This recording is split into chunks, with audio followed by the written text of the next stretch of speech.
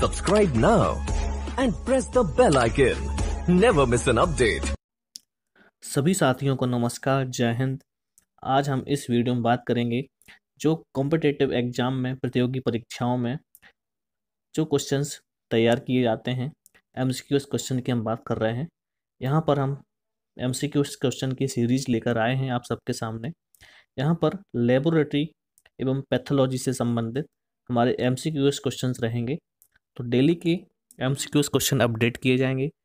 आपका अपना YouTube channel pathology पे तजय पर is used to wash R B C यानी कि आर बी सी वॉश जब हम करते हैं ब्लड बैंक में या फिर ब्लड ट्रांसफ्यूजन के समय तो उस समय क्या यूज़ किया जाता है? यहाँ पर चार ऑप्शन दिए गए हैं। फ़र्स्ट है हमारा 3.8 ग्राम पर डेसीलीटर आप यहाँ पर देख सकते तो इसका कोई ऑप्शन ही नहीं है यूज़ ही नहीं है। सेकंड है 0.85 परसेंट एन थर्ड है हमारा five percent E D T and next last option है 0.35 percent N A C L तो सबसे पहले हम यहाँ से रिमूव करेंगे ये फ़र्स्ट वाला एंड सेकंड करेंगे हम ये ई डी टी ए क्योंकि ई डी टी ए तो एक एंटी कॉन्गलेंट है और यहाँ पर ये इनकम्प्लीट ऑप्शन दिया गया है। अब हम देखते हैं यहाँ पर दो ऑप्शन बचते हैं हमारे पास। तो इसमें से हमारा ऑप्शन जो है, ये सही है zero point eight five percent N A C L ठीक है? क्योंकि किसी किसी बुक में हमें zero point nine percent N A C L दिखाई देगा और किसी की बुक में zero point eight five percent N A C L है तो आप कन्फ्यूज़ ना हो, ठीक है? तो इसका राइट ऑप्शन है zero point eight five percent N A C L का use R B C washing में किया जाता है। अब हम चलते हैं नेक्स्ट क्वेश्चन की ओर। सेकेंड क्वेश्चन है हमारा which anticoagulant is not a calcium chelator इसमें से कौन सा एंटीकोगुलेंट कैल्शियम से बाइंड नहीं होता है? कैल्शियम चिलेटर नहीं है। तो यहाँ पर चार ऑप्शन दिए गए हैं। फ़र्स्ट हमारा ई डी टी ए भी जो एंटीकोगुलेंट है, ये कैल्शियम चिलेटर है। नेक्स्ट है हमारा हिपेरिन नेक्स्ट है सी ऑक्जुलेट एंड आखिरी है साइट्रेट यहाँ पर ये सभी एंटीकोगुलेंट हमारे कैल्शियम चिलेटर हैं। केवल एक एंटीकोगुलेंट है हिपेरिन जिसको हम नेचुरल एंटीकोगुलेंट भी बोलते हैं।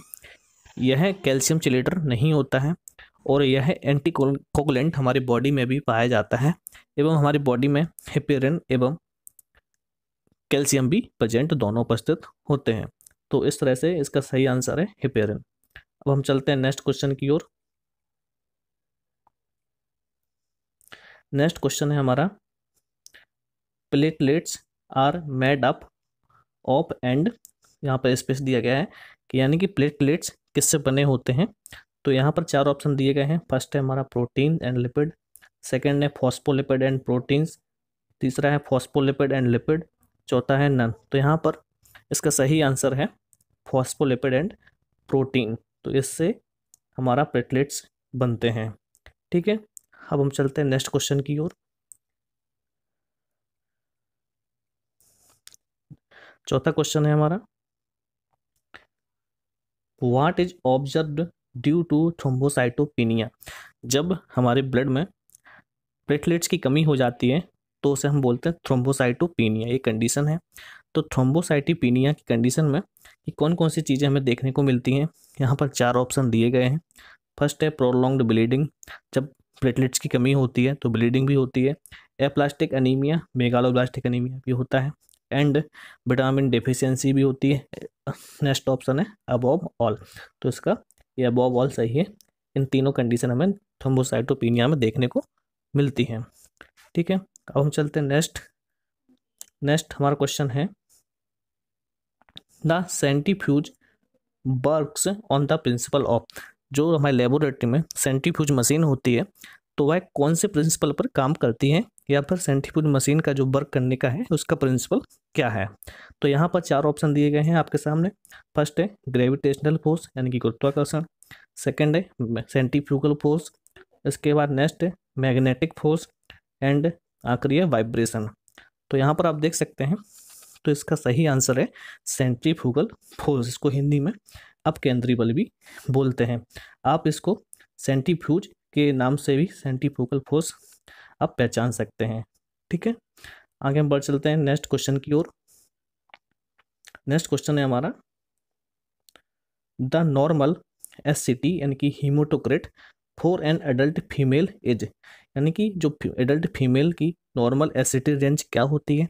यहाँ पर चार ऑप्शन है, फ़र्स्ट फोर्टी टू से फिफ्टी फोर परसेंट, सेकेंड तेरह से सत्रह ग्राम पर डेसीलीटर, सी है बारह से सोलह ग्राम पर डेसीलीटर एंड लास्ट है, पंद्रह, पचास से साठ परसेंट तो यहाँ पर आप देखेंगे कि दो आप हमेशा देखें ना कि एससीटी की नॉर्मल रेंज परसेंटेज में हम देते हैं तो यहाँ पर ये दो ऑप्शन कट हो जाते हैं, ये ग्राम पर डेसीलीटर अब बचे आपके पास दो ऑप्शन तो यहाँ पर ये हमारा फ़र्स्ट वाला ऑप्शन सही है, क्योंकि इसका जो नॉर्मल रेंज है, बयालीस से चौवन परसेंट होती है। तो ये इसका सही आंसर है। आगे हम चलते हैं नेक्स्ट क्वेश्चन की ओर। Question number seven the heaviest cell in the blood is blood में सबसे हैवीएस्ट सेल कौन सी होती है? यहाँ पर चार ऑप्शन है। First W B C R B C platelets and plasma तो इसका सही आंसर है आर बी सी ठीक है? आर बी सी ब्लड में सबसे हैवीएस्ट सेल होती है। क्योंकि जब हम देखते हैं, जैसे कि सेंट्रीफ्यूज करते हैं एंटीकोगुलेंट ब्लड को तो वहाँ पर देखेंगे कि जो सेल्स रहती हैं रेड सेल्स हैवियर वेट के कारण हैवीएस्ट के कारण वो नीचे सेटल डाउन हो जाती हैं एंड जो डब्ल्यू बी सी रहती हैं, वो प्लाज्मा में रहती हैं एंड प्लेटलेट्स प्लाज्मा में एंड प्लाज्मा सुपरनेंटेंट तैरने लगता है। तो इस तरह से सही आंसर है आर बी सी ये सबसे हैवीएस्ट सेल होती है ब्लड में। आगे नेक्स्ट क्वेश्चन है हमारा। आठ नंबर का।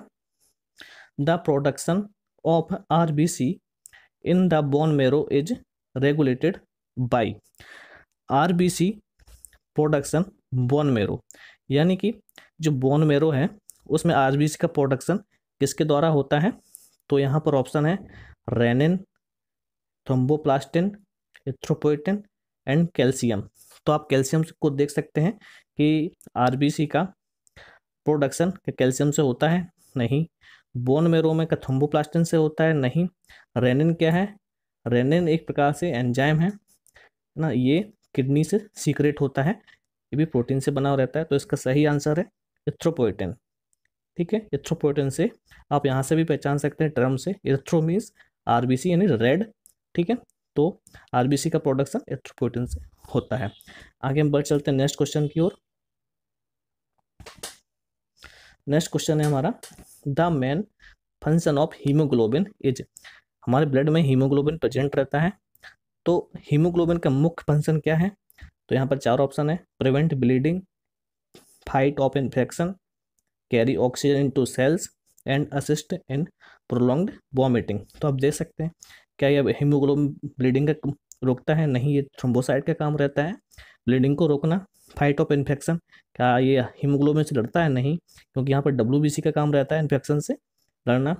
और तुम्हारा जो थर्ड ऑप्शन है कैरी ऑक्सीजन इनटू सेल्स मतलब जो ऑक्सीजन को कैरी करता है, कहाँ से? फेफड़ों से लंग्स से टिश्यू में ले जाने का कार्य करता है। तो ये हमारा हीमोग्लोबिन का सही आंसर है कि haemoglobin carry oxygen into cells ठीक है?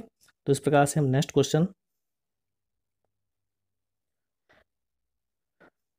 नेक्स्ट क्वेश्चन है, दस नंबर। पीसीबी मींस पीसीबी का फुल फॉर्म या फिर पीसीबी का मतलब क्या होता है? पैक्ड सेल वॉल्यूम इसका फुल फॉर्म है। तो पैक्ड सेल वॉल्यूम किसका? हमारे चार ऑप्शन है। क्या packed cell volume RBC packed cell volume of WBC packed cell volume of platelets and the volume of plasma तो आप यहाँ पे, अगर आपने S C T P C test लगाया तो आप समझ सकते हैं कि यहाँ पर पी सी बी का जो सारा है packed cell volume of R B C ठीक है?